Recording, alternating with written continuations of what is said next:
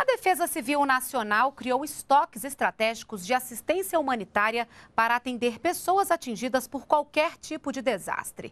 Cada região do país vai contar com um centro de distribuição de materiais, como água, kits de limpeza e higiene pessoal, cobertores e alimentos. Inicialmente, os estoques vão ser instalados em Manaus, Porto Alegre, Rio de Janeiro, Recife e Brasília. Os centros devem ser instalados no segundo semestre desse ano.